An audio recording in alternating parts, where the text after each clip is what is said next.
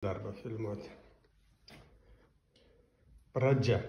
Šitas paveikslas vadinasi pradžia. Praktiškai pagal manęs jau baigtas. Kaip Aleksandra? Gali būti pradžia. Arba mėnulio peizažas.